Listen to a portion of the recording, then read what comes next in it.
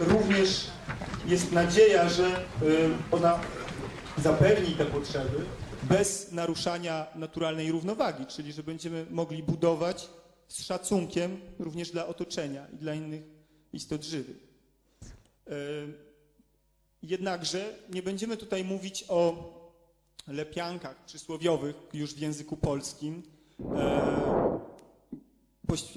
Ten panel poświęcony będzie takiemu dość zaawansowanemu budowaniu z naturalnych materiałów. Zaawansowanego w tym sensie, że są to już rozwiązania sprawdzone, wypraktykowane i mm, choć proste z założenia, to bardzo dobrze spełniające wymogi współczesnej ekologicznej architektury.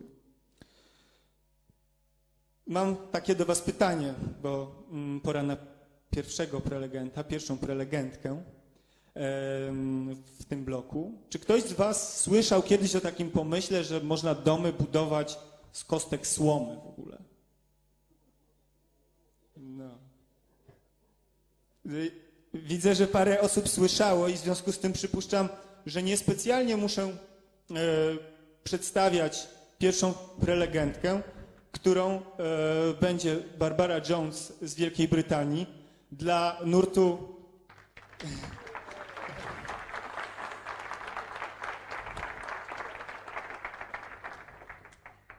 No właśnie. E, otóż dokonania Barbary są rzeczywiście, są rzeczywiście wielkie, jeśli chodzi o budowanie z kostek słomy.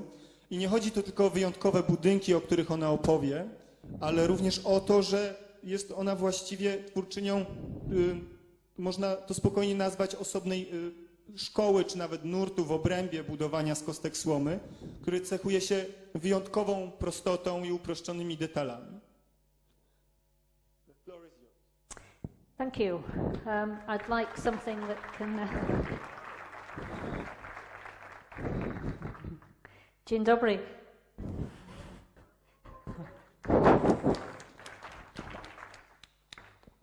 Oh, the lights are bright. Um, well, I hope what I'm going to talk to you about will be music to your ears after uh, the last performance. And um, without further ado, once upon a time, we used to build with natural materials, didn't we? And this isn't so long ago, 1925. That was the, that was, uh, the first built houses. And before that, all cultures have histories of building with natural materials, with clay in particular, clay and straw, with the earth. And once upon a time, we all used to build, and by all, I mean every person in this room would be part of building in some capacity. It wasn't just protected for the professionals and the architects and the people who'd been to university. It was something that was a natural part of life. And so, uh, part of what I want to say is, I'm not telling you anything new. I'm not rediscovering um, anything. It's just bringing back to our hands the things that we used to have not very long ago, a couple of generations. What happened? How did we lose that heritage?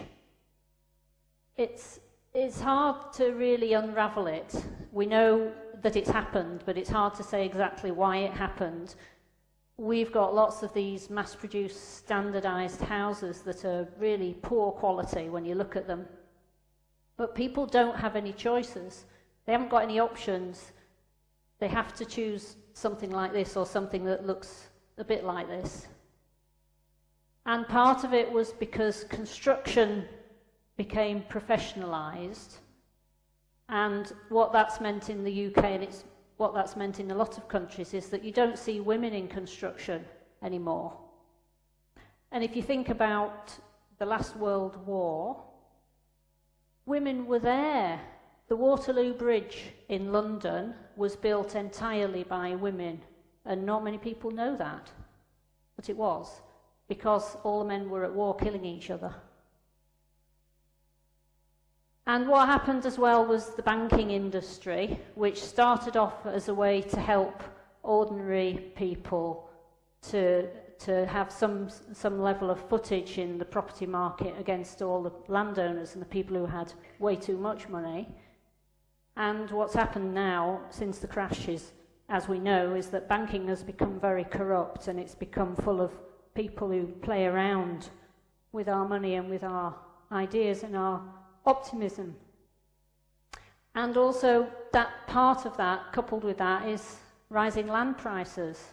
So, people come to me all the time saying, I want to build my own house, but I can't afford the land. If we had the land, we could build. And we know that's true. We can, we can get stuff, we can scavenge stuff, we can find things to build with, but we have to have the place to do that. And these are the things that have happened to us so that we can't, we've actually lost control of building our own houses now. So, what are we doing about it? What I'm trying to do about it is I'm trying to raise awareness through education, through networking, at a grassroots level, because I've given up with all those people up there because they're not there to help us. To provide practical courses on real building sites for people like you. And putting those courses, if we can, into back into the further education colleges, into the national curriculums in every country and working on European projects to do that sort of thing. And I'm also trying to, as part of networking, it's not just me, there's lots of people trying to give you practical alternatives using natural materials so that you don't have to only take the lowest common denominator. There are other options, there are other choices, but we have to have them put into our hands. And that means we've got to be able to provide affordable designs that everybody can use. And so that links in very much to the theme of this conference about open source. It's about sharing knowledge, sharing skills, sharing expertise, because it's not rocket science what we're doing. It's very ordinary, very basic, and it's something that we all would have been involved in 200 years ago. So, natural building, natural materials are our heritage. They're simple, they're accessible, and they're generally very locally available. So, I wouldn't go and try and build with straw houses in the middle of the desert because there is no straw. That's not sensible. But I would try and build in Mongolia where they've got lots of straw but they haven't got baling machines because we can solve the problem of baling straw if we've got the material. It's not a, it's not a difficult thing to do. Clay, most of the houses, the vast majority of houses in the whole world are still made of clay. And yet, we forget bricks. Bricks are clay, they're just fired bricks. And, you know, you have to be careful about the lobbies because fired brick houses had a lobby behind them in the Middle Ages so that you could only build houses out of fired brick. So all that sort of protectionism about ideas and about materials started coming in when profit started coming in. Wood, we use a lot of wood, unprocessed wood, coppiced wood. Again, in the UK, the coppice industry is one of the biggest growing industries now. But if you think about uh, our country, a small country which began the Industrial Revolution, the steel industry was founded on, on regenerating fuel from coppiced woodlands originally before coal. And then they wanted to cut all the coppices down and build houses and factories and mills on them, so they destroyed their fuel source that way and they started using coal. But uh, if you look back to the origins of a lot of industry, it was founded on water power. Um, we could do that again. It's just that other things have come in that have made a lot of money for people. So that's behind a lot of the reasons why things have changed, to my mind.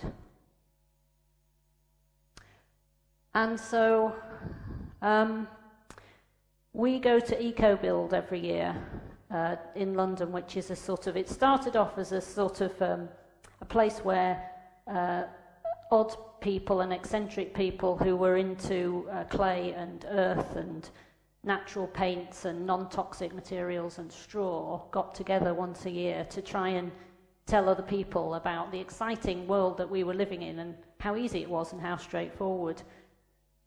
And um, lots and lots of people come and talk in those forums.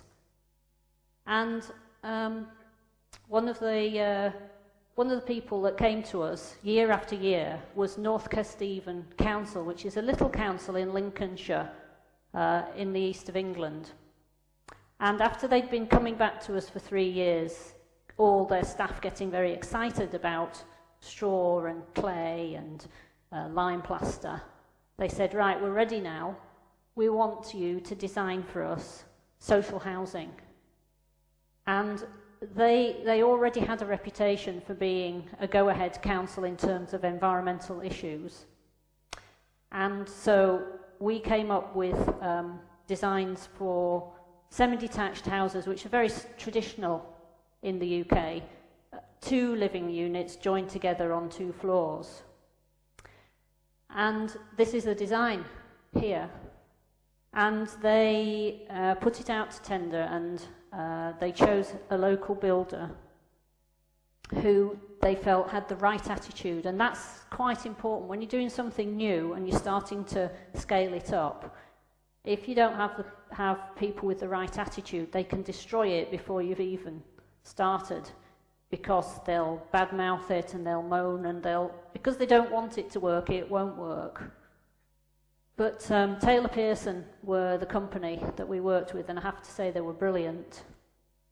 And we, part of the way we, we work is that we don't just want to design something simple. We don't just want to introduce it to uh, a new company to help us build it, but we want ordinary people on the building site working with us because part of our philosophy is the process. The process and the people is so important. It's not just the materials, it's how you do it, it's who you do it with that's important. So, we ran training courses on the building site to build the straw walls and to learn about plasters and it was very successful. And we had to do all sorts of complicated things with insurance and stuff, but we got round those problems. And um, those, we now have the, I'll talk about those houses a little bit more later on in the story. But, um, sorry, this slide's not as clear. But this year we've been working on the same model, which is about simple houses there's no need to overcomplicate anything. We designed a, three houses together, a terrace of houses, which is something I've said personally I'd always like to do, for a couple who live in the south of England who have, um, they're trying to make a living by running a farm and having holiday lets in order to supplement their income. They already had a couple of uh, uh, holiday lets on the land, and they wanted to be able to provide holidays for people in wheelchairs and their carers. So we designed them a two story building in three units that would do that, and they're self building it. So I don't know if you noticed the price on the last slide 108,000, which was a contractor built house. And um, sorry, I'm just trying to sort out this. This one, which is self build, which means they're doing all the labour themselves, so that cost isn't part of the process, is only 33,000 per unit. It's a massive difference, and it shows, first of all, how far we've come in a few years, and it also shows the, um, what your labour cost is worth on a building site. And these people are not builders, they've come from IT and from being a full time housewife and mother to do it. And these are the people, these are the people that, uh, that make that possible. You. So I'm going to just run through this pretty quick. because I want to show you some of the pictures at the end, just to show you that what we're working with is natural materials with very low embodied energy. 85% of these houses is low embodied energy material. You can't say that about any other, any other house building process. We've been building commercial buildings. In London, this is one we completed this year, 600 square metres of, uh, this is not load bearing, this one's an infill. Uh, everything in it is natural, and this was done for the, the council in London. This is it almost finished. It wasn't designed by us, but it was, uh, we, we had consultation on it. And this one is quite a famous one near Stansted Airport, which is having an extension built on it. It was so successful that, that they've had an enormous number of people coming to see it. It was built at a commercial cost, and it's saving them 70% every year on their fuel bills because it's so thermally efficient. Um, we looked to other countries where they're using big bales in Denmark, uh, Werner Schmidt in uh, Italy, and all over the place and we designed uh, a centre up in East Yorkshire, which uh, hasn't got funding yet. Maybe I should talk to them about crowdfunding. Uh, again, based on the same principles, it's all natural materials. There's no cement in any of these buildings. This is load-bearing chalk, stabilised chalk for the foundations. We've hidden the rainwater harvesting inside the plinth it can carry trucks, so you, can, you could hold EcoBuild up here. Um, we'd love to build it, but uh, it's not on the cards yet. And uh, we focused a lot on foundations, changing foundation design, going back to basics, making foundations flexible and breathable again, which is how they used to be built before cement. It makes them very eminently earthquake proof. And you can build foundations like this for a three bedroomed house for less than £500. We've just done it. So nothing else compares with it. And when I tell people that, they just laugh because it's so ridiculously low, they don't really believe me. Um, these are some of the other foundations you can build without cement. This one uh, is the one we've developed for um, houses that do that need to be very thermally efficient. So the foundation also the plinth wall needs to be needs to match that U value so you don't lose heat through underneath.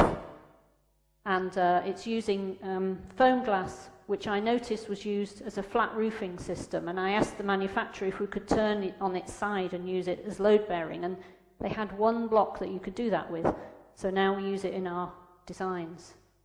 This is the uh, council housing, social housing. I think anybody would be proud to live there, and these are, these are council tenants. So these are people who, you know, most of the time don't get a very good deal out of life. Here they are with a fantastic house to live in, with a wood burning stove, open plan downstairs, and uh, beautiful lime plastered walls. This is um, a building near us in West Yorkshire that um, most people don't even know is made of straw.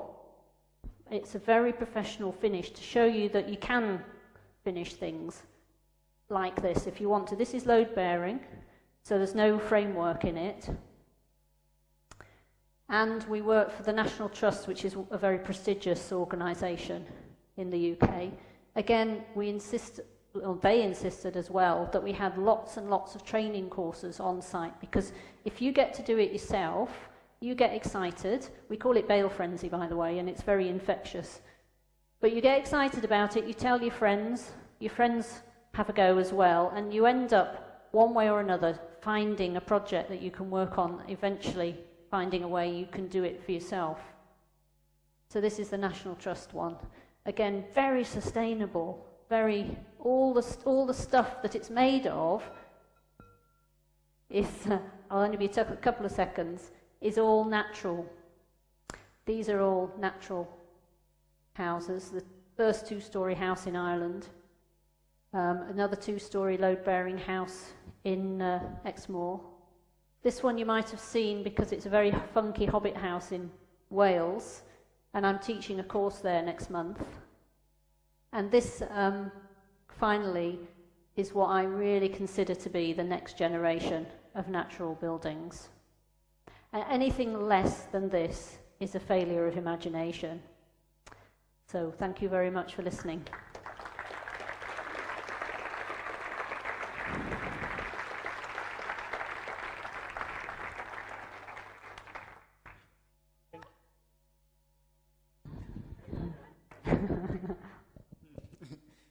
Chciałabyś zadać pytanie?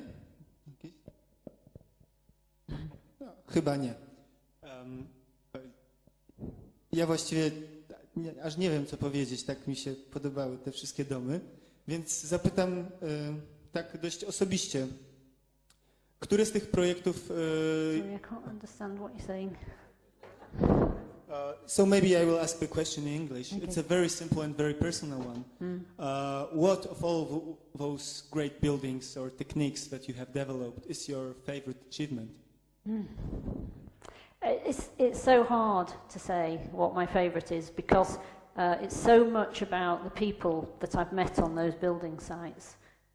Um, I've said for many, many years that what I really wanted to do was build a terrace of straw bale houses. And finally this year I've managed to do that after 15 years. So I think I'd have to say Elmfield Farm. Okay, thank you very Thank much. you.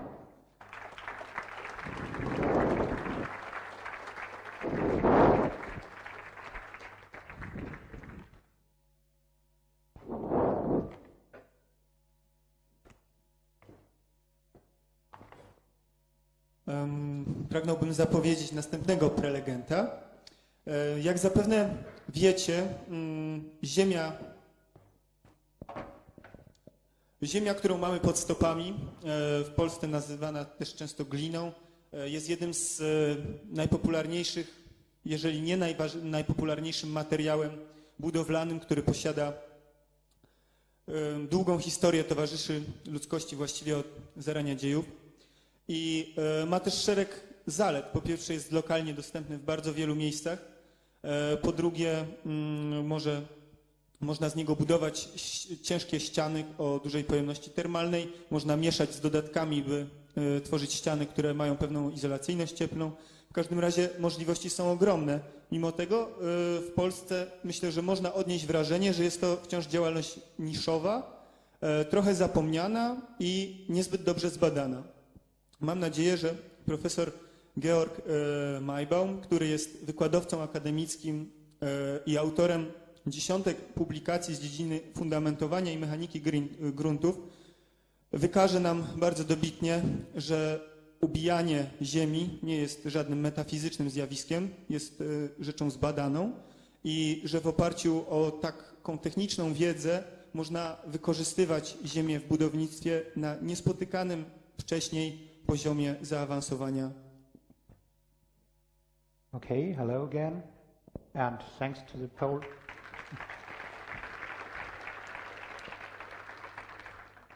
okay, second try. Hello again, and thanks to the Polish colleagues for the preparation of this conference and for the friendly invitation.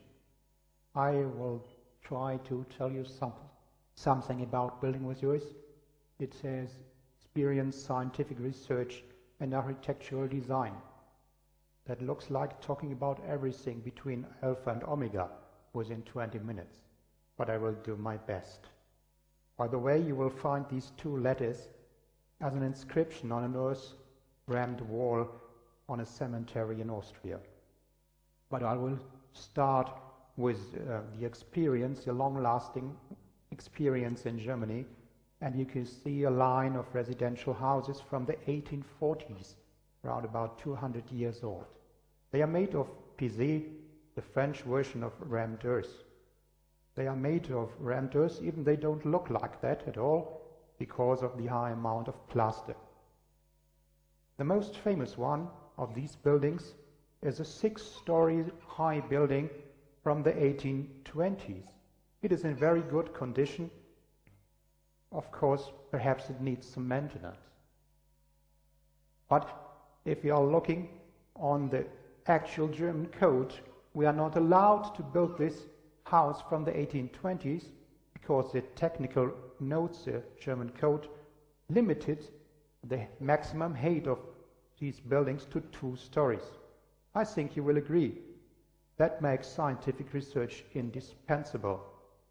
But unfortunately, we have to look at some technical details. What's the aim of our scientific research? We want to develop a reliable design for renders. We want to know how will be the maximum load to be calculated. We have to look at the material on the geometry, that means thickness and height.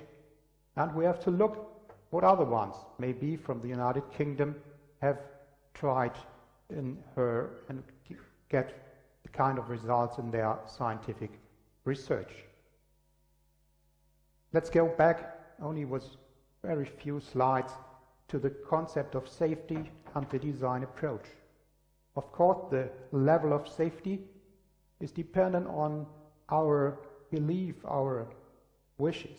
So we can look at this uh, code, and in, I said it before, it is limited to one or two stories, and if we want to do it renders, we can calculate or derive from the compressive strength of the sample the allowable, acceptable, limited compressive strength for the building.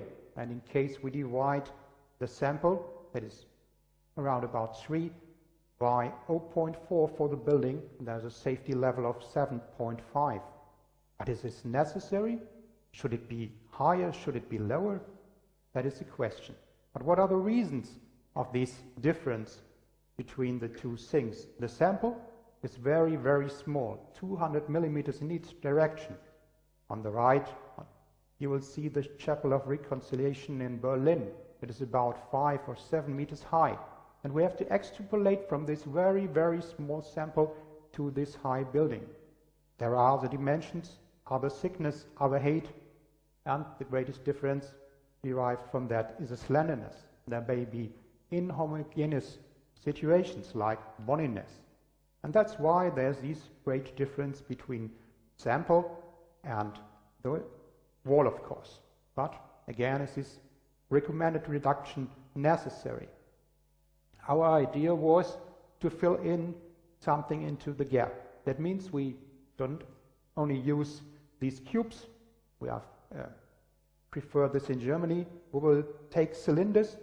Perhaps someone knows them from the UK, and we will just produce samples with the so-called RILEM dimensions, that is about 1.2 meters, 1.2 meters and 300 millimeters, someone will know them from France.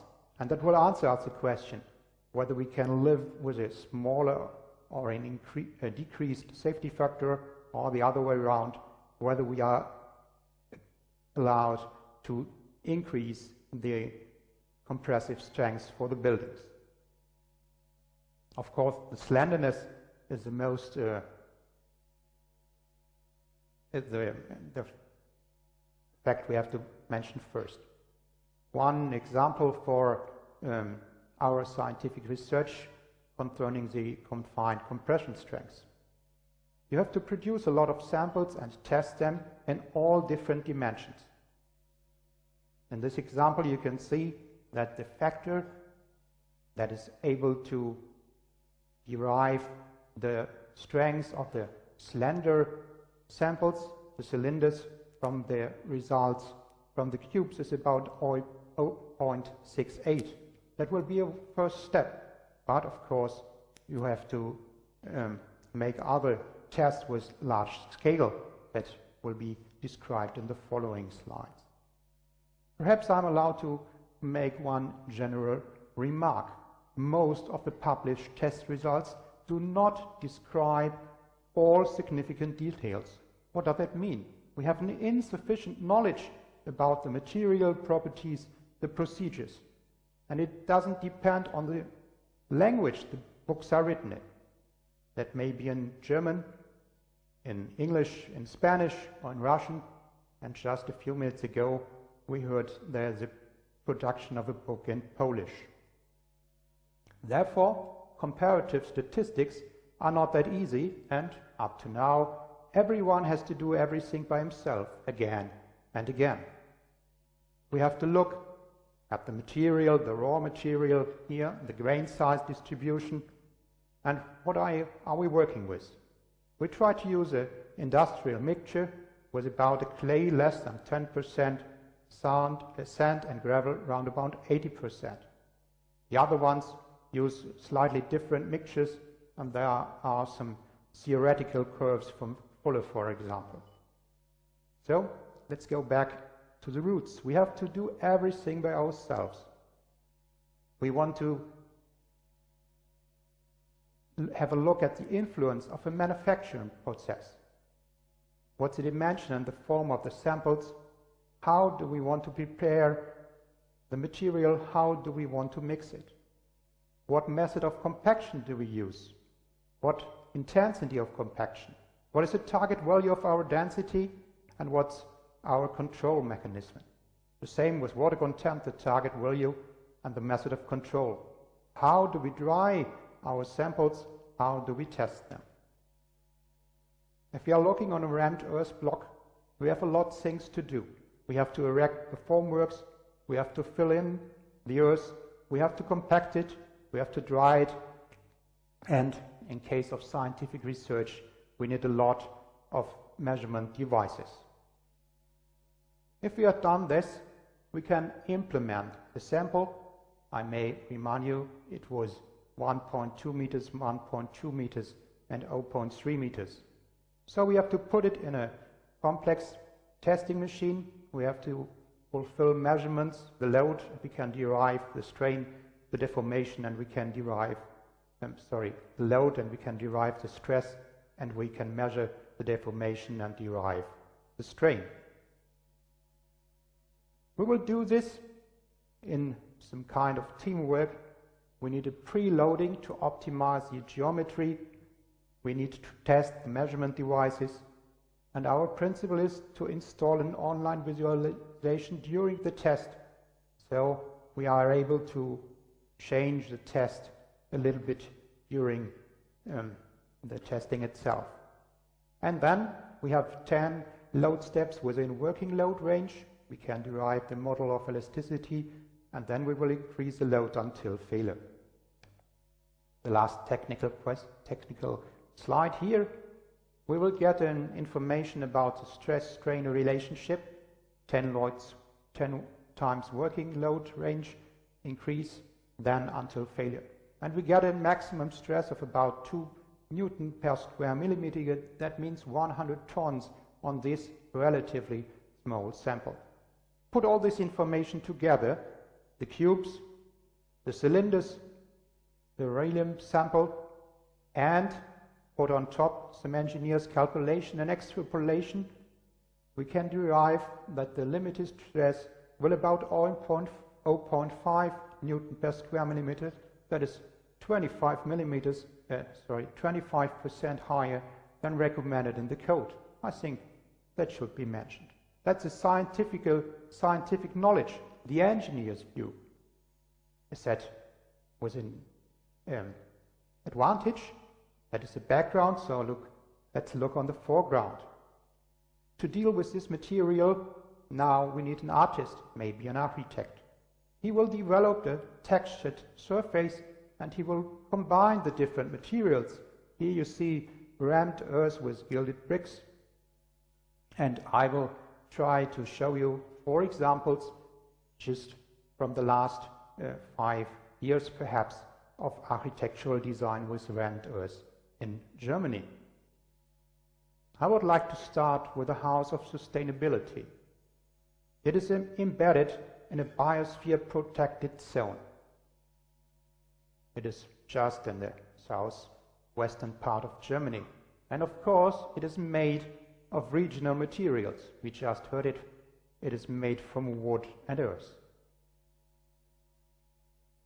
Looking at some details, we can see on the right side the backbone of this building, the backbone made of rammed earth, a part of the exterior surface and a part of the interior surface. The House of Sustainability wants to answer the question how can traditional methods be used to find new, innovative, sustainable solutions? And of course, they don't want to deal only with the question, they want to they want to give answers. How will we reach low energy consumption?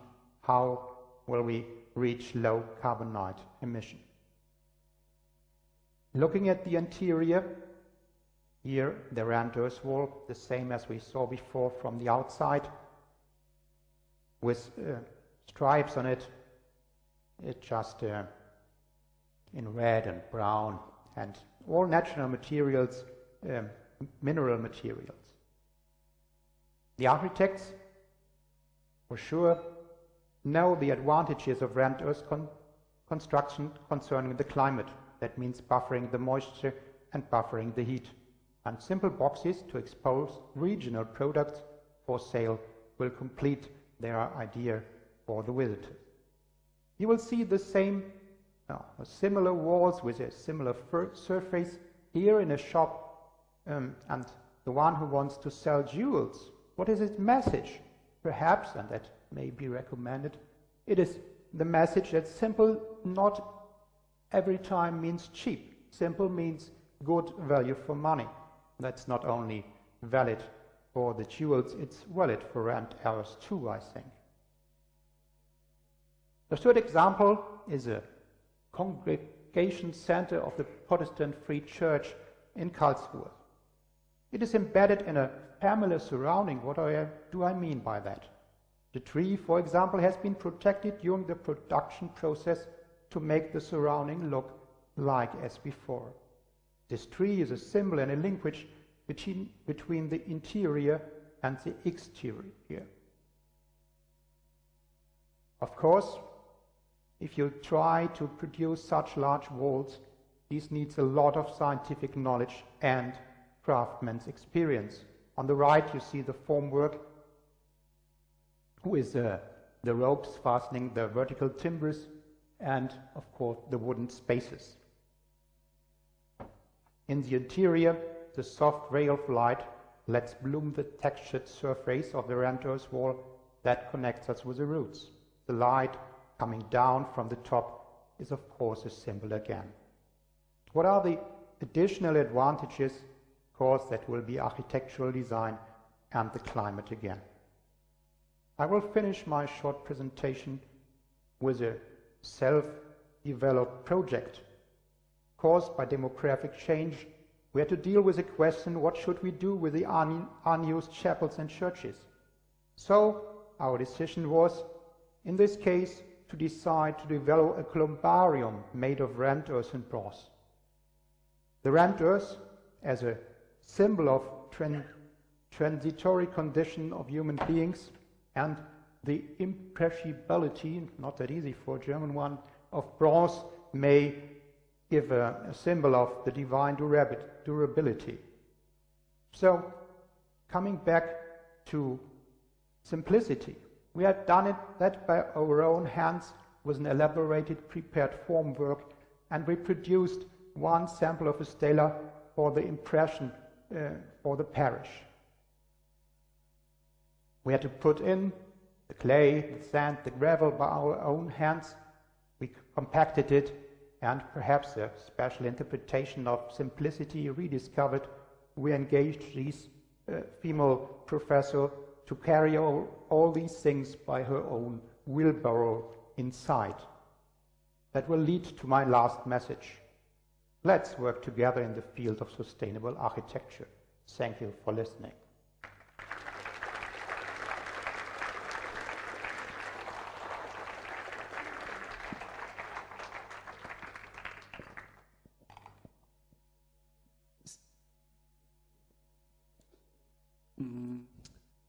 Czy mogę zadać pytanie?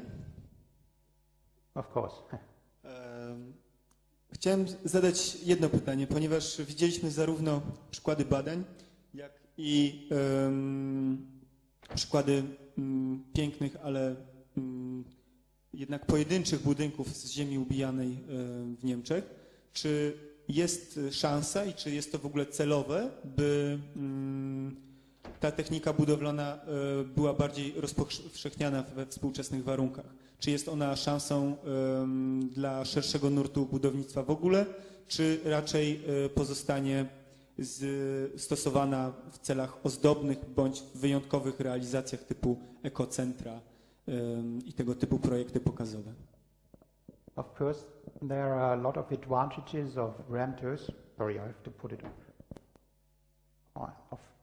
So there are a lot of advantages with rammed earth. It can have uh, load-bearing capacity. That was the reason for scientific research, but it's climate buffering moisture and buffering heat too. What's the use of these buildings? That will lead to very different answers. It's dependent on the region you will produce this. In Germany, these uh, buildings made of rammed earth are normally relatively expensive. That depends on the on the craftsman's time. But if you look at other regions, maybe uh, to Asia or Africa or um, wherever you want to Bangladesh, you will find this technique uh, under under conditions with a low-cost craftsman, and you will produce dwellings and schools. But in Germany, uh, that was a German pers- perspective, of course. It is a relatively expensive work. But it's not only decorative, it, it has a symbol. If you use it in the church, you see we, our life cycle, we come from the earth, and after our life cycle is over, we will be the same as before. And uh, that's perhaps uh, the most common use in Germany today. Thank you.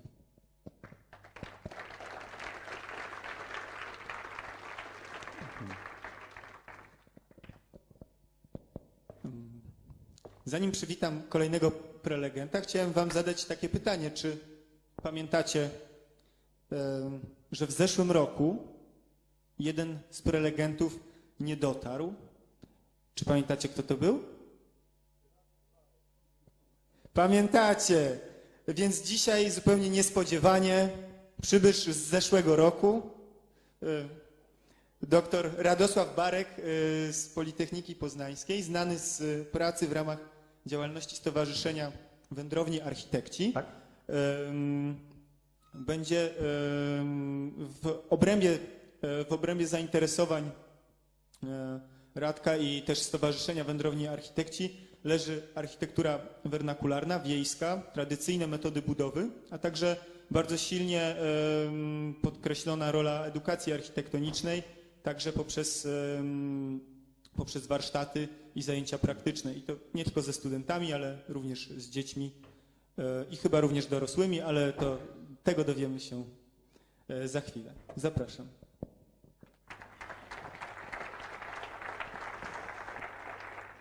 Dziękuję. E, Witam e, wszystkich. E, Tak jak tutaj e, wspomniane było, taki powrót do e, z przeszłości jest jakby tutaj trochę motywem przewodnim e, tej e, sesji. I właściwie e, to też było takim mottem przypomnienie jednej z piosenek, w której słowa brzmiały mniej więcej w ten sposób: skąd przychodzimy, dokąd idziemy. Ktoś zamyśli się i powie: nie wiem, bo właściwie poszukując w naszej rodzimej, tożsamej tradycji wzorców do współczesnego budowania, y, zgubimy się. Y, Ostatnie y, kilkadziesiąt lat nauczyło nas bardziej zrywania więzów z y, historią, z tradycją, z miejscem, a być może to powinno być miejscem głębszego zastanowienia nad tym, dlaczego ludzie przez setki lat używali danej technologii, doskonalili ją, dochodząc do pewnej perfekcji, dlaczego udawało im się w tym żyć y, zdrowo i długo, dlaczego te budynki były trwałe. Y, Tutaj dwa rysunki dwóch różnych pokoleń. Y, Jednego malarza już dojrzałego i drugiego dziecka w tej samej wsi wykonane na temat tej samej architektury szachulcowej, która na Pomorzu Zachodnim i na Pomorzu w ogóle jest dosyć y, mm, popularna w Polsce. Y, Dlaczego tradycja? Po co nam y, te historyczne domy? Niektórzy pytają. Gdy spojrzymy na to, co minęło, właściwie mówimy, no, co powinno nam przynieść jutro. Ale właściwie te wszystkie rozwiązania były w dużym miejscu dostosowane do miejsca, do krajobrazu, do y, tego, co ludzie wytworzyli, to, co stworzyli w swoim rozwiązaniu y, społeczności i integracji tej społeczności wokół miejsc, które sami zbudowali, y, tworząc jednocześnie określone formy architektury regionalnej, rodzimej. Jak współcześnie to odczytać? Często już nie ma tych, którzy budowali te poprzednie domy, nawet nie przekazali następnemu pokoleniu. Jak spojrzeć na tą tradycję? Może w trzech kierunkach, czyli na krajobraz, gdzie w danym miejscu osiedlali się ludzie, jak to miejsce wyglądało, jakie miało uwarunkowania. O, zniknęło. Yy, Ludzie i ich rodzime tradycje, czyli to, co wytworzyli, to, co stało się ich wyróżnikiem, yy, to, co nazywamy kulturą lokalną, kulturą tradycyjną. Yy, I formy architektury, mimo że niezależnie od miejsca korzystali ludzie z drewna, gliny, kamienia, wytworzyli odrębne formy architektoniczne. Można by powiedzieć, że trochę się nawet tymi mm, formami bawili, jak upiększyć, jak zrobić y, to y, ciekawiej, ładniej, ale jednocześnie bardzo ekonomicznie do tego podchodzili, bo nie chcieli się napracować tak jak i współcześni. Y, mm, Około y, Czaplinka jest miejscowość Drachim, w której y, kilka lat temu powstała taka karta drachimska, w której uczestnicy zajmujący się zarówno edukacją architektoniczną, jak i samą architekturą stwierdzili, że w nadchodzących czasach trzeba by stworzyć pewne reguły korzystania z tej, albo przypomnieć te reguły skorzystania y, z naszej tradycji. I tak y, powstały bardzo krótkie sentencje, każde miejsce opowiada swoją historię. Każde miejsce, Twoje miejsce to osada, dom, środowisko naturalne, czyli właściwie oczywiste rzeczy, ale również odważnie korzystaj z tej tradycji y, i rozwijaj swoją wrażliwość na to, co Ciebie otacza. To, czy mamy tradycje, mamy mm, nie tylko te odległe. Y, Tutaj domy, które powstawały jeszcze w latach 50. i to właśnie wielorodzinne z y, użyciem mm, cegły suszonej. Wtedy istniała sieć pewnych y, laboratoriów, w których można było wysłać próbkę i otrzymać zwrotną informację, ile do użyć piasku, jeżeli chcemy mm, wykonać tynki, ile jeżeli chcemy domieszek y, organicznych, jeżeli chcemy większą izolacyjność ścian. Ale w tej tradycji mamy y, również obiekty reprezentacyjne, pałace, ale też i y, popularną architekturę w y, miasteczkach, y, nie tylko na wsi, domy szachulcowe, ale również ta najdawniejsza y, architektura z Pomorza, tutaj przykład y, domu y, szachulcowego wypełnionego y, gliną. Ale też i materiał, o którym mało kto pewnie słyszał, y, ruda darniowa. Y, W okolicach y, Poznania jest y, cała, y, cały obszar, w którym tego typu materiał używano. Jest to bardzo ekologiczny, można by powiedzieć, odtwarzalny materiał, bo po wykopaniu raz pewnej bryły, bryły y, rudy darniowej, y, warunki mm, wilgotnościowe i skład wody powoduje, że nadal ona w tej ziemi y, narasta. Ym, Komputer zaciął. Jeżeli spojrzymy na to, jak korzystać z tej tradycji, szukamy wzorców, szukamy ludzi, którzy by pomogli nam odpowiedzieć na to pytanie, jak y, spojrzeć na otoczenie. A więc y, ten krajobraz, który nam towarzyszy dookoła, miejsce, Właściwie współcześnie, jeżeli powstaje zespół zabudowy, mało kto zastanawia się często nad jego ukształtowaniem. Dawniej to miejsce było wyróżnikiem. Tradycyjna, tradycyjne osadnictwo wybierało szczególne miejsca. Y, Przykład osadnictwa y, holenderskiego, właśnie tam, gdzie y, tą rudę darniową. Miejsce pod zabudowę jest tam, gdzie miejsce jest najwyższe, mimo że coroczne wylewy rzeki dookoła tworzą jeziora. Współczesny podział absolutnie ignoruje ukształtowanie terenu, stąd mamy często przykłady mm, zalewania i niszczenia dobytku. Przykład jednej z wsi opartej na bardzo y, charakterystycznym układzie owalnicy, dostosowanej do ukształtowania terenu, który dookoła jest oblany wodą i z jakich materiałów korzystano? Oczywiście z gliny. Y, Gdzie te miejsca były? W centrum wsi, a więc ekonomicznie blisko domów, które powstawały. Tam w tych miejscach współcześnie są małe y, jeziorka. Jak y, obecnie planowanie przestrzenne postępuje? No, przykład tej samej wsi i planów rozwojowych, zupełnie odmiennych od kształtu, y, który wytworzyli poprzednicy.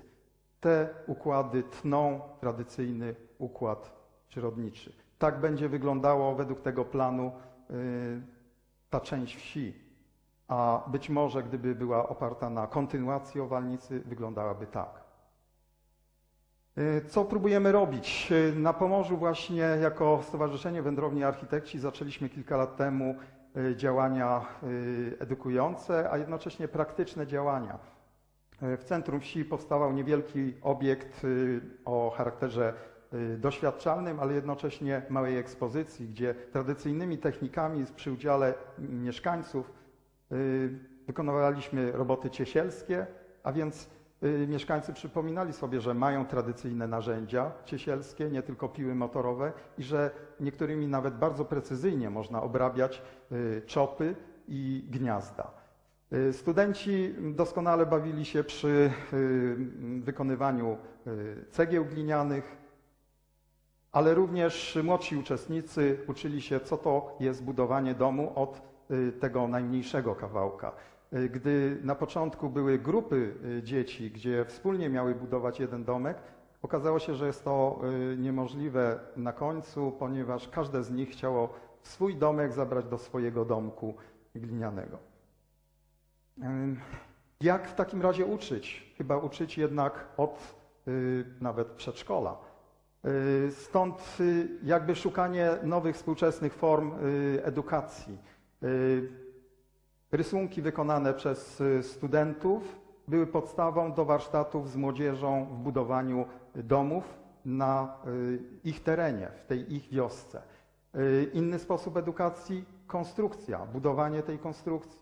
Kolejny, może docierający do jeszcze innych odbiorców, wycinanki, ale na wzór tej tradycyjnej zabudowy.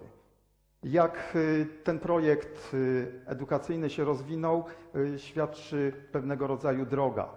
Pierwszym elementem był, była Łącko, niewielka wieś i budowa wspomnianego już tutaj obiektu eksperymentalnego.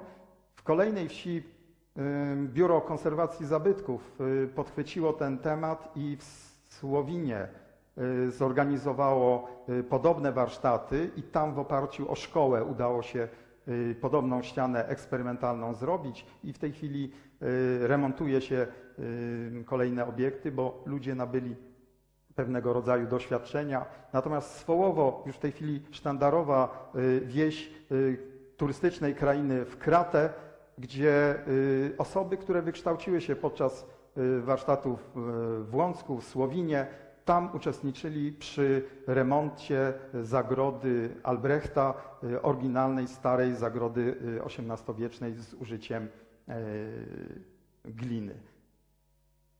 Tego typu y, doświadczenia powodują, że y, mamy szersze grono nieformalnych, mm, wykształconych ludzi, którzy są pasjonatami.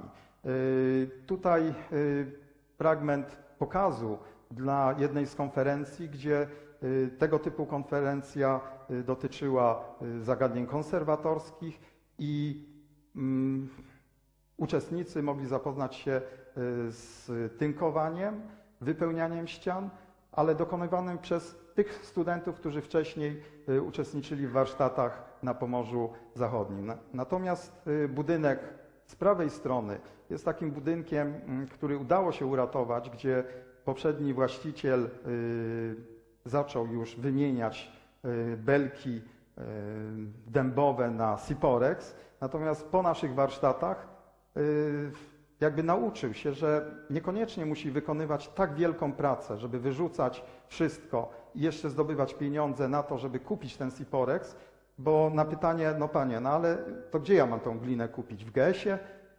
Nie. Niech pan idzie za stodołę, dwa razy pan kopnie i będzie pan już miał glinę aż 3 metry głęboko. Y, Ten materiał naturalny, powszechnie dostępny, stał się też inspiracją do projektu, który być może y, w y, najbliższych dwóch latach będzie realizowany. Osiedle społeczne realizowane przez ludzi związanych z Fundacją Pomocy Wzajemnej, y, zajmujących się wychodzeniem z bezdomności, y, zdobywaniem nowych umiejętności i usamodzielnianiem osób we współczesnych naszych warunkach ekonomicznych.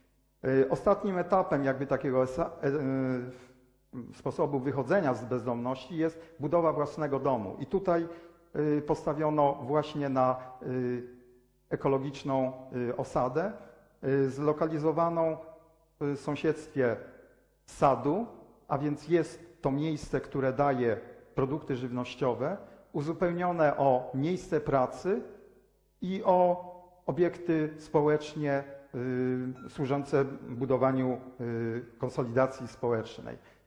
Y, Te materiały nagle okazały się, y, że one znajdują się dookoła.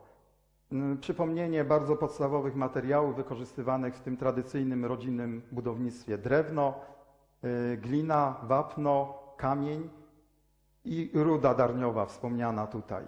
Y, Współcześnie drewno jest raczej traktowane jako atrakcyjny element elewacyjny, ale y, glina to w tej chwili dosyć y, mocno y, propagowany materiał do y, tynkowania nie tylko obiektów y, budowanych tradycji.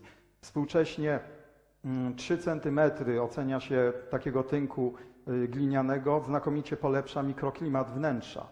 Y, W takim razie y, też jako Stowarzyszenie Wędrowni Architekci we współpracy z jeszcze z y, trzema innymi stowarzyszeniami w tej chwili realizujemy projekt prowadzenia y, bardzo y, programu edukacyjnego, jak uczyć u nas y, tynkowania z gliny, tak żeby było to profesjonalnie i y, z użyciem materiałów, które są lokalnie dostępne.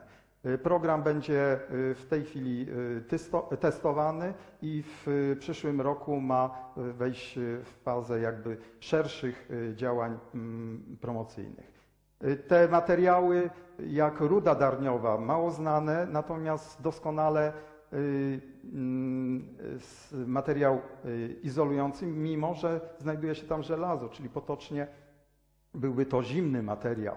Jednak mieszkańcy, którzy mieszkają w tych domach, przede wszystkim podkreślają, że jest to bardzo suchy. Y, Wnętrze jest suche, bo na przykład pobudowali dodatkową y, przestrzeń z y, Ciporexu i tam mówią, no tam panie to już grzyby są, ale w tej starej części, gdzie dziadkowie mieszkają, to tam jest dobrze. I ta ruda również pochłania różnego rodzaju związki chemiczne, także stosowana jest do oczyszczania powietrza zakładach przemysłowych. Te projekty, jak lokalnie startujemy z nimi, od najmniejszych obiektów. Y, Tutaj obszar Puszczy Płyskiej i budowa mm, niewielkiego obiektu y, mm, przystanku. Przystanek autobusowy po to, żeby ta edukacja docierała w nawet nieprzewidzianych przez y, mieszkańców sytuacjach. Zamiana przystanku bardzo standardowego ze stali na materiał, który został wykopany kilkadziesiąt metrów y, dalej.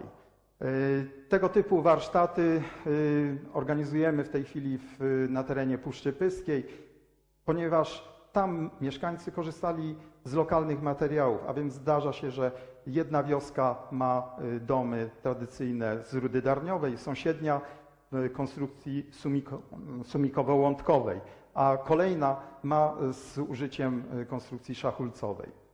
I jak praktycznie w tej chwili realizować to doświadczenie z y, takiego projektu na terenie Mazowsza, gdzie dom, który tutaj widać, jest współcześnie pobudowany we współpracy między architektem a młodym etnografem, który zakończył dopiero studia, ale miał zamiłowanie do stolarki, ciesiałki i tu ta współpraca doskonale się łączy.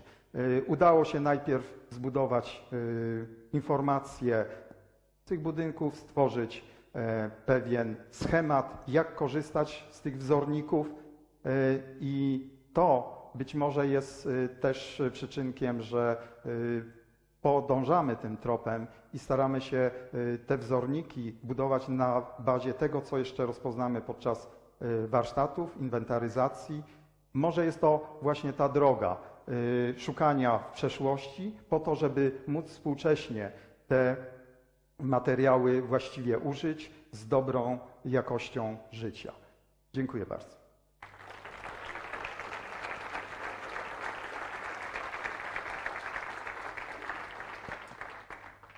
W takim razie jeszcze zadam jedno pytanie. E, Pytanie będzie bezpośrednio dotyczyło prezentacji, ponieważ e, ja mniej więcej wiem o co chodzi, natomiast też nie do końca. Pojawił się nowy materiał tutaj, który się nie pojawiał często w, w innych prezentacjach, mianowicie ruda darniowa. Czy mógłbyś wytłumaczyć dokładnie, czym jest e, ruda darniowa, a szczególnie zainteresowała mnie ta informacja o tym, że ona się odnawia e, po pewnym czasie. Oczywiście. To jest y, materiał, który powstaje w określonych warunkach, y, zwykle y, na łąkach, nieco podmokłych, gdzie przesącza się woda o dużym składzie z żelaza. Przy sprzyjających warunkach mniej więcej y, 15 cm pod darnią pojawia się zwarta, zwarty pokład takiej rudy. Jest on różnej grubości, od kilkunastu centymetrów do nawet pół metra. Y, I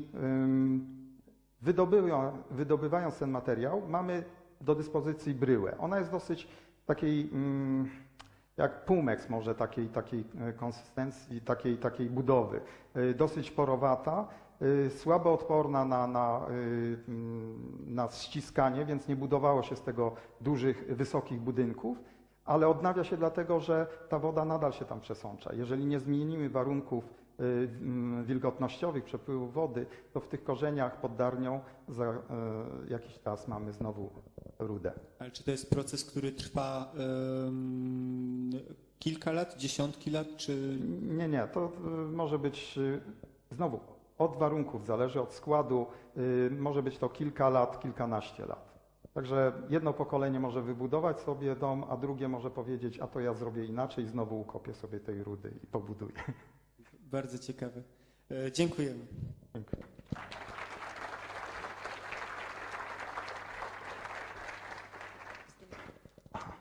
Właściwie za wcześnie podziękowałem, bo zapraszam teraz na miejsce siedzące. E, It's time for discussion. Jest e, czas teraz na panel dyskusyjny. Zapraszamy.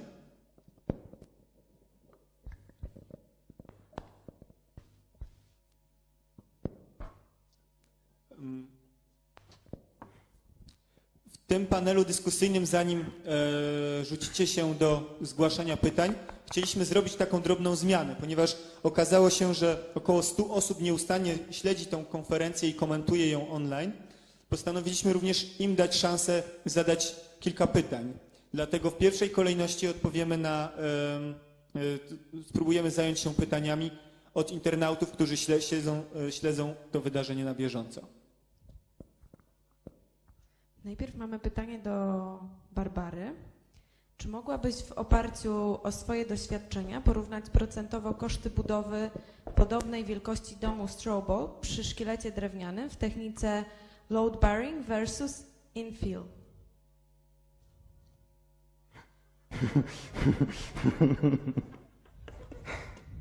To pytanie od Kaiki. Uh, it's a difficult question to answer because it, it, it depends entirely on how you do it. Um, the, why load bearing can be so cheap is because ordinary people with no particular building skills can build. Um, if you build with a timber framework, you have to have some carpentry skill, which you either buy in or you might have it yourself. And um, if you were going to do the two in a commercial situation where everything was paid for, then uh, they'd probably be fairly similar in cost. But the advantage of load bearing is that c- it's very accessible for, for people to do who don't have professional building skills, in which case they can take the labour cost out of it quite dramatically and do a lot of it themselves. Następne pytanie jest do pana Radosława od Weroniki. Jak poznać, że na mojej łące jest taka ruda darniowa? Prosty sposób. y, Wziąć łopatę i, zacząć kopać. Musi to być y, y, miejsce, w którym być może, że w okolicy znajdzie Pani też takie domy, które zawierają albo w fundamentach takie bryły i po prostu. y, Naprawdę to jest płytko. Ruda darniowa jest mniej więcej y, 30 centymetrów pod, pod darnią. Ale może, żeby ułatwić e, Aha, Weronice poszukiwania, to e, czy są jakieś rejony Polski, w których e, jest większa szansa na trafienie na rudę darniową? Jeżeli tak, na przykład w rejonie Doliny Warty, mm, Pystr, y, w rejonie Kalisza, w- miejscowość Gizałki na przykład, y, Kalisz jeszcze, w- ale również na zachodzie Polski, y, w rejonie Doliny Odry, wszędzie tam, gdzie są dosyć y, podmokłe y, łąki i na przykład mieszkańcy stwierdzają, że mają y, wodę zażelazioną y, w y, studniach. Więc to w takich miejscach szukać. Dziękuję w imieniu internautki. E, Chciałabym jeszcze zadać jedno pytanie do Georga. Czy budując tą techniką trzeba ściany dodatkowo ocieplać? Technika, chodzi o technikę z ziemi.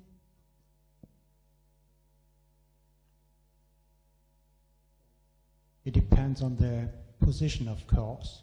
Normally, we love to build ramdos walls in the interior.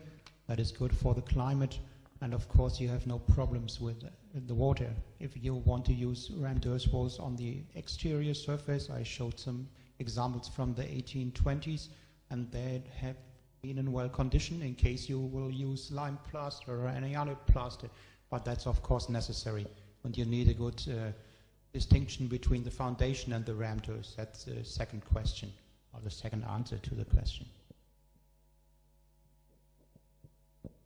Ale. mm,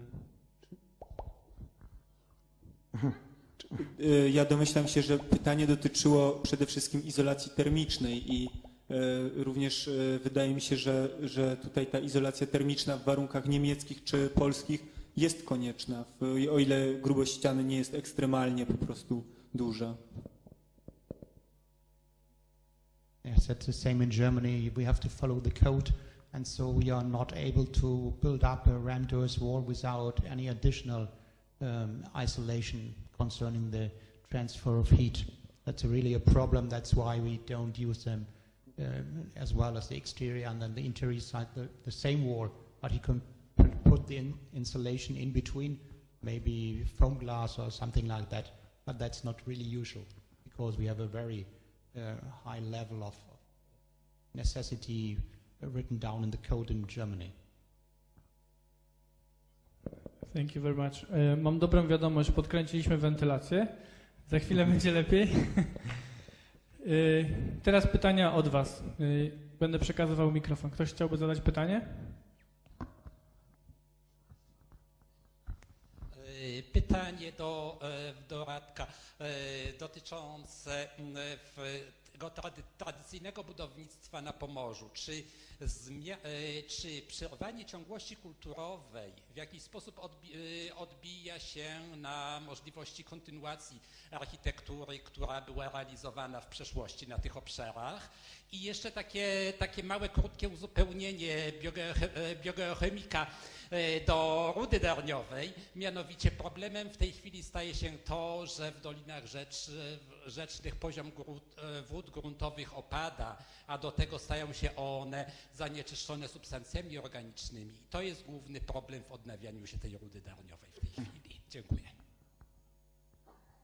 Tak, jeżeli y, chodzi o Pomorze Zachodnie, y, to rzeczywiście y, problemem jest brak tej ciągłości kulturowej. Ludzi, którzy wytwarzali, budowali te domy i tych, którzy zasiedlili je po wojnie. Dlatego y, mm, jeden ten z projektów, który prezentowałem, y, opierał się na tym, że chcemy zmienić tego typu mentalność, że to jest innego pochodzenia, że to y, nie mój dziadek wybudował to.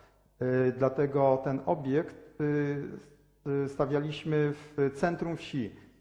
Mieliśmy taką grupę, nazywaliśmy ich obserwatorami, którzy siedzieli na ławeczce, mm, przyglądali się długi czas i tak mniej więcej po tygodniu stwierdzili, y, jak już tak byli w dobrym stanie, że a to my wam możemy pomóc teraz. Y, I to było dosyć y, sympatyczne, że również potem pojawiali się mieszkańcy, którzy mm, na przykład nie mając za dużo pieniędzy, jeden drugiemu mówi, słuchaj, no przecież jak ci ten komin się tam przewraca, to możesz tej cegły, tak jak oni to robią. I ten, ten moment y, współuczestnictwa, nawet jako obserwatorów, jest takim przełamaniem y, tej y, może długiej niechęci, ale też i sposobem na konserwowanie, może mniejszymi środkami niż, niż zakładali sami mieszkańcy, jeżeli chcieli przebudować te domy. Inne pytanie, proszę. Jakie są, do, do Barbary pytanie. Jakie są wyniki badań y, teoretycznych i praktycznych punkt, y, punktu rosy w ścianie ze słomy grubości 50 cm?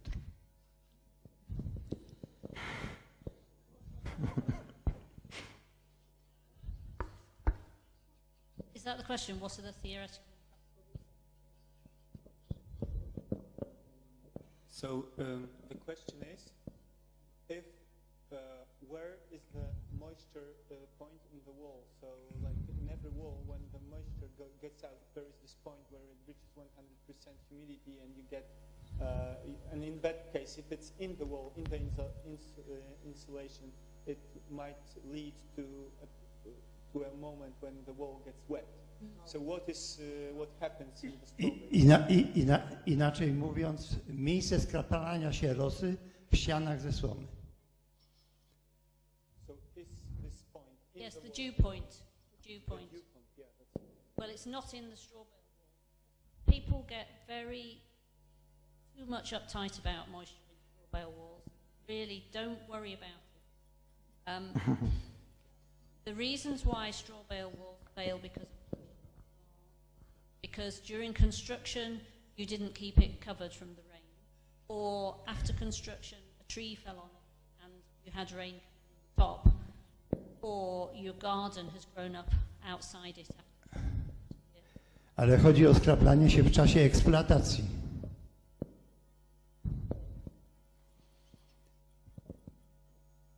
There is no condensation. I can't say it loud enough, clearly, more clearly. There is no condensation in the wall because we use natural plasters in combination with the natural breathable straw. So clay or lime inside regulates humidity just by itself, and lime on the outside also acts as a weatherproof protection.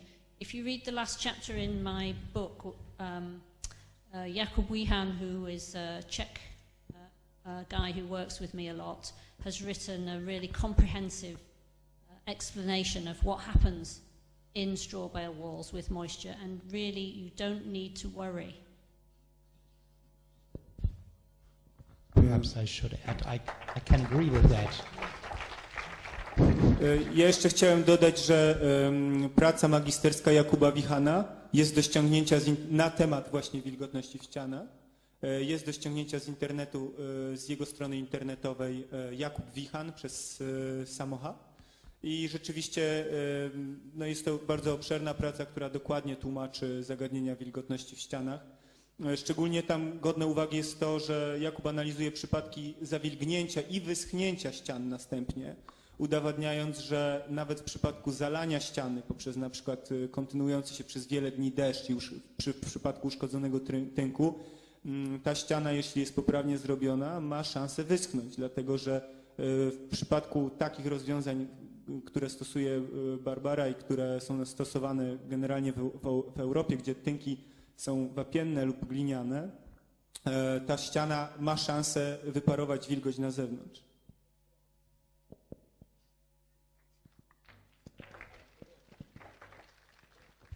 E, Ja mam pytanie też do, do Barbary odnośnie tej konstrukcji samonośnej, czyli jak są e, ze sobą wiązane te kostki i do jakiej wysokości jakby taką konstrukcję można ciągnąć. Um, they're not really tied together. They're built like giant bricks. Um, and if there's a high wind load, then we'd also use uh, hazel pins through the centre to give them structural integrity. Um, but that's not always necessary. And they're plastered inside and out generally, but they don't have to be. They usually are just for um, interior decoration and aesthetic reasons, and it gives them greater protection on the outside. The, there was a second part to your question. Oh, how high can we go? Uh, with load bearing so far, we've only gone two and a half stories high, but that's because we're not property developers.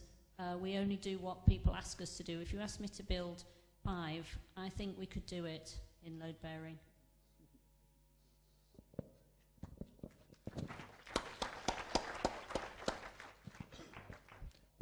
Następne, następne pytanie do Barbary. Czy mogłaby trochę więcej opowiedzieć o tych fundamentach dla domów tanich?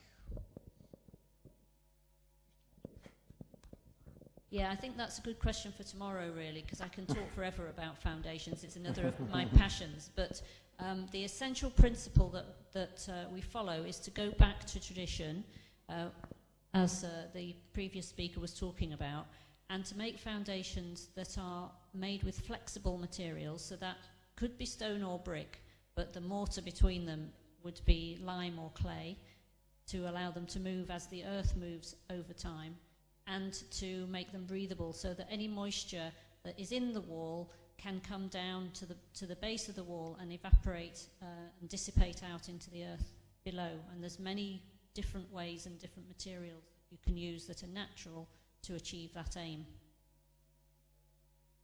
Tomorrow. Ja chciałbym zbombardować jeszcze Barbarę jeszcze jednym technicznym pytaniem, ale myślę, że jak, jako, jako bardzo doświadczony budowniczy słomiany odpowiesz na nie, mam nadzieję, całkiem dobrze. Otóż, otóż e, w, w takim w literaturze mainstreamowej odnośnie budownictwa bardzo często mówi się o budownictwie em, glinianym i słomianym, często w formie takiej troszeczkę żartobliwej anegdotki. E, I wokół tego urosło wiele mitów i jednym z tych mitów jest pytanie, które myślę, że spędza e, sens powiek niejednemu mieszkańcowi e, domów słomianych, a myślę, że zwłaszcza w konstrukcji load bearing, a mianowicie co z myszami? Oh no. Tak jak w konstrukcjach e, infill możemy mówić o tym, że ta konstrukcja jest e, nienaruszona, tak w konstrukcji load bearing wydaje się to pytaniem o wiele bardziej palącym i chciałbym usłyszeć, e, co masz do powiedzenia na ten temat. Sorry, I haven't, I haven't quite got the end of the question there. So the clue is, what about mice in house? What about mice? Yeah. Not what- that old question. What, what, but I think that many, many people ask you about it, and Mice, I- yes. yeah, and, Okay. and I, I'd like to hear what, what you usually answer them. okay.